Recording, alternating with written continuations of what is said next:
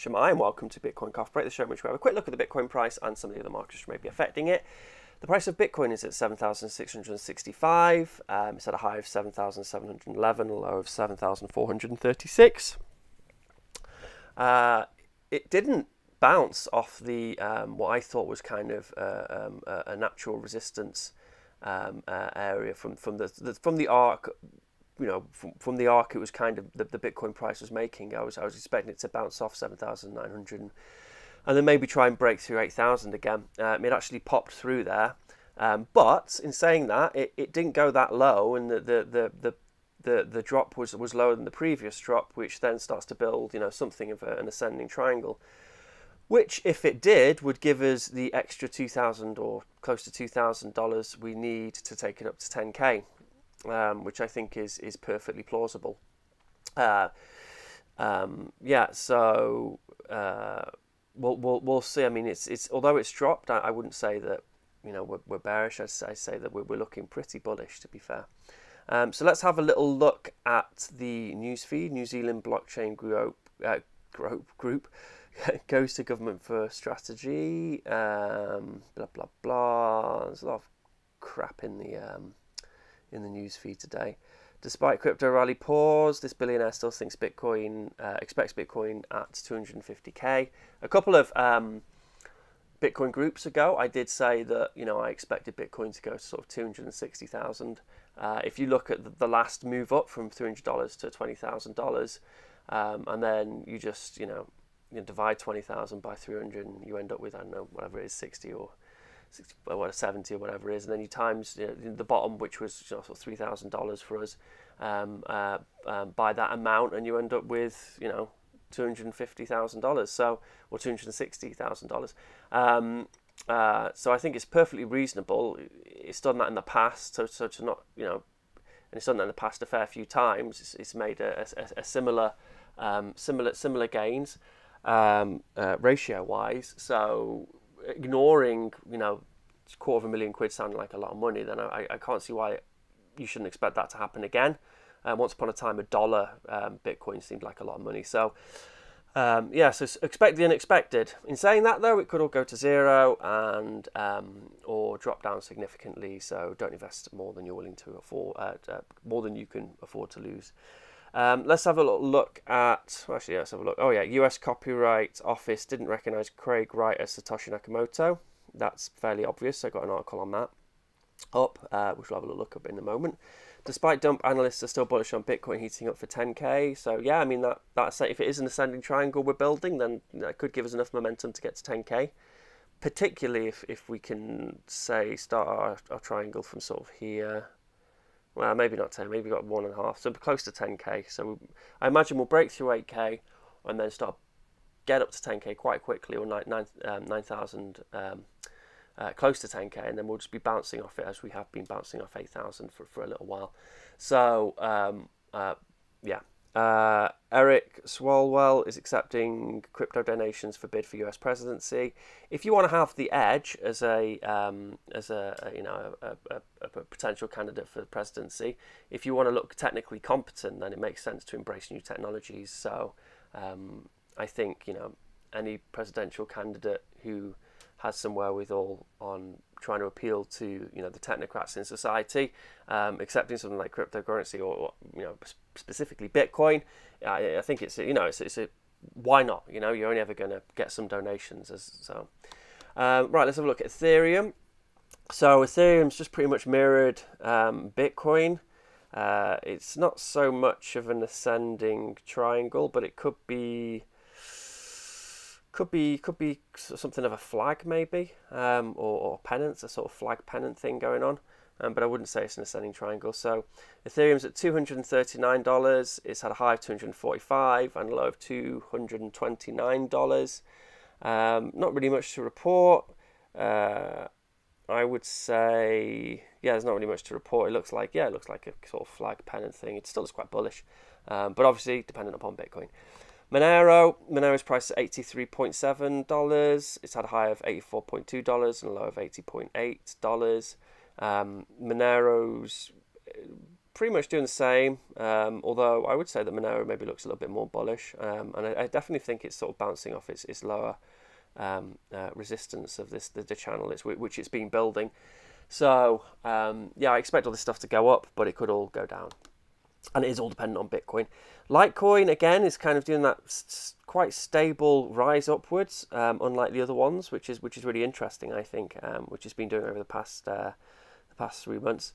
So um, yeah, we can continue to, to see whether Litecoin continues to do that. It's at eighty seven point five dollars. It's had a high of eighty eight point three, and it's had a low of eighty four point six. So yeah, not really much to report on the Bitcoin um, and related cryptocurrency type market. Um, we dropped a little, but we're still looking pretty bullish. Gold, what's going on with gold? Gold's up 0.6%. Um, uh, so just, just, just very recently. Hold on. Uh, yeah, the past, um, the past couple of hours, it's it's popped up quite significantly actually. Um, so I wonder if it, if it will kind of repeat this dead cat bounce which you had. Uh, oh, it's not a dead cat bounce. Oh yeah, it was a dead cat bounce. If it will repeat that um, that that pattern. Uh, so yeah, so that, that's quite interesting. So I wonder why that is. Um, stocks, US futures slump as trade war impact spreads to Europe. Okay, so maybe it's more concern of a little bit of extra concern over the trade war stuff, and then people are are finally buying up some gold to hedge themselves. Gold prices little changed after uh, patient Fed minutes. So um, when was that? That was 12 hours ago. So I suppose the, a lot of these articles aren't accounting for the little pump we've just had in the past um, past couple of hours. So be interesting to see where gold takes that. Um, is there any sort of obvious patterns which are being created there? Not really. I mean, it just looks like a kind of downward ascend, uh, descending triangle to me. But uh, we'll see. We'll see. You know, good luck to them. Uh, what we've got here? So we got the um, the Dow Jones. So uh, the Dow Jones is has taken a little tumble downward, um, um, and it looks like it's uh, it's building a um, uh, what do you call it, symmetrical triangle, um, but on the downside. So I imagine it's going to probably go down a little bit further. Um, and this, I guess, this is off the yeah. So the Dow the Dow slumps because China is talking tough again. So you know China's not afraid to fight back, um, um, and they have the power to fight back too, and it's probably politically the best thing they can do. Um, so yeah, so we'll just have to see how that, that plays out.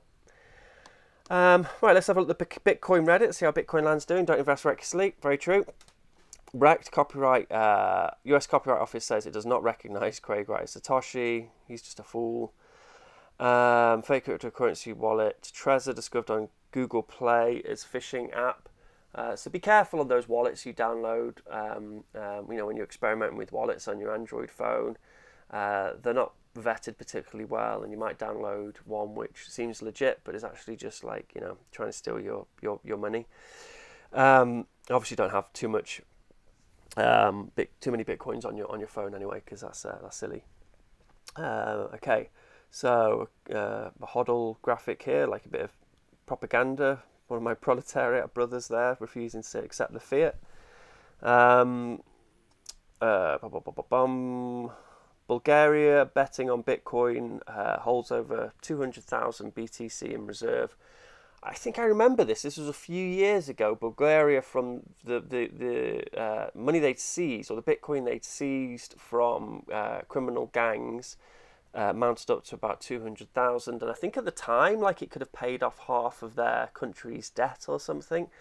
Um, but it sounds to me like sounds here like they've they've held on to it which is probably a very wise thing to do.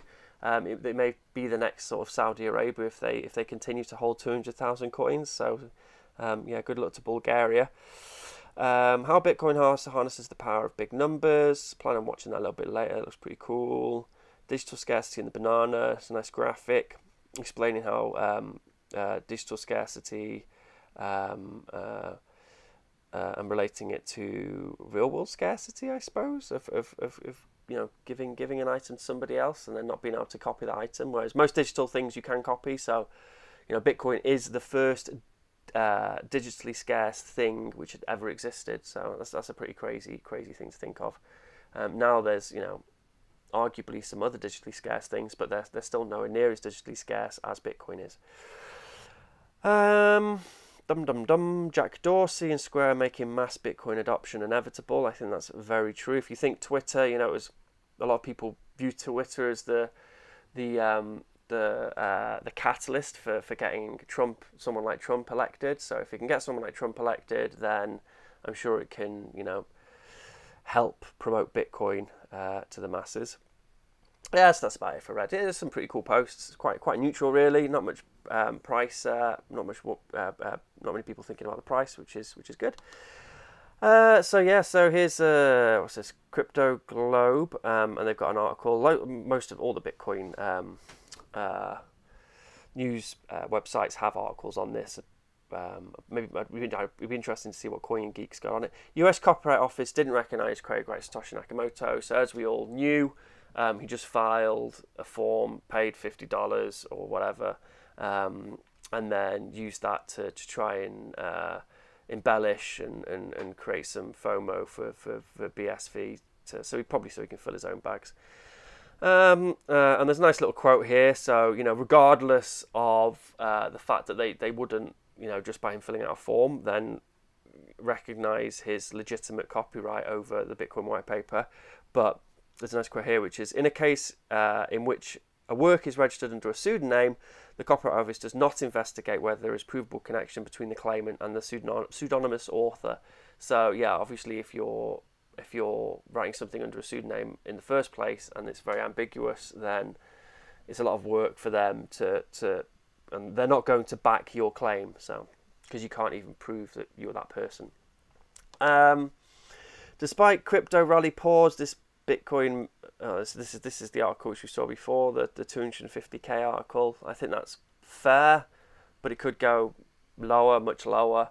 Um, uh, but once the the FOMO kicks in, um, and then you know once we have some some more um, hysteria and FUD in the markets, and uh, there's all these big uh, um, uh, Wall Street firms and investment firms which uh, uh, want to want to invest their money into, in, in, they want to diversify their portfolio, and they suddenly get the on ramp onto Bitcoin. Say there's an ETF which has been approved, then you know the 250k thing seems very plausible. Right, so um, the most important news, uh, which um, which I, have made sure to cover today, is that in 8 days, 19 hours, and 29 minutes, uh, we will have the Bitcoin Lightning Hack Day in Munich. Um, all the Lightning Hack Days have been absolutely phenomenal. They, um, they're, they're, they're very uh, um, uh, productive uh, in that you have lots of people who are really interested in the tech in one room. Well, not lots of people, actually, a relatively small crowd compared to most Bitcoin conferences. And uh, I've been to all but one of the Lightning Hack days, and I think I heard the price mentioned maybe once. Um, and that was when I went to New York, and I think that's probably because we were outside looking at the, the Bitcoin bull on Wall Street, and then we talked about the Bitcoin price. So, um, so yeah, people really don't care about the price there. It's all about the tech. And then when you meet the people who are working um, on Lightning, and then you meet people like Christian Decker, and you hear some of their talks, and you suddenly realise, well, so you see someone like roasbeef present, uh, you realise the, the the the sheer intellect of the people working on Bitcoin, and that's is really what gives it gives it value. So, an excellent. Um, uh, if, if the last uh, Lightning Hack Days or anything to go on, it's an absolutely excellent event if you're able to make it. If you pay for a ticket on Lightning, it's only five euros. Um, I think it's like 100 euros if you don't pay on Lightning. Uh, so, you know, it's not that hard to install a Lightning wallet and Power Lightning. Um, yeah, so so if, you, if you're able to get to that, and then the other news is that uh, last night I released a tutorial on uh, how to build a shop. It took about half an hour to build a, a WordPress WooCommerce shop, and I used OpenNode's excellent plugin, WooCommerce plugin, to accept Bitcoin um, uh, Bitcoin payments and Bitcoin payments only, and um, uh, preferably uh, Lightning payments. But you can buy a whole bunch of stuff on here. Um, I'm going to put more things on here. So a lot of this relates to the like the, the these little uh, packs of components here. They relate to the tutorials I do. So if you buy one of these packs of components, you can like pretty much do like you know seven or eight of the tutorials which I've made, like the the Bitcoin point of sale and um, price the paper price checker and uh, a whole bunch of whole bunch of things. Um, this is like the base microcontroller I use in all my projects. Uh, it's a little bit overpriced here, but it's kind of a way of people supporting the show. So um, Um, but you know that's overpriced, whereas this is probably underpriced. So you can buy a pre-inked Bitcoin stamp, um, and I they they've got so much ink in these things. I swear you could ink like you know at least a couple of hundred bills. Um, uh, and you can buy one of those for, for, for one British pound, obviously paid on, on Lightning. So I think that's like a dollar fifty or something. Um, so if you buy, and I think to ship to the US, it's like four four dollars for me. So if you buy, you know, twenty or thirty of these things, um, then um, it's a it's a pretty good bargain. You know, um, I have one of these uh, um, self-inking Bitcoin stamps. So I, originally I bought these, and they were um, they were considerably more expensive. So that's the sort of price you would probably pay if you had one of these commissioned yourself. So to be able to pick up some Bitcoin stamps for, for a pound is, is, is a bargain. Um, obviously, don't go stamping fiat because that is illegal and you shouldn't do that. It's bad. Um, uh, so yeah, so that's enough um, um shilling. Uh, I hope you enjoy your Thursday. Sorry the show was a little bit late. Um, I had a busy morning. Um, I'll see you tomorrow morning, nice and early. and uh, yeah, yeah, have a good uh, have a good afternoon.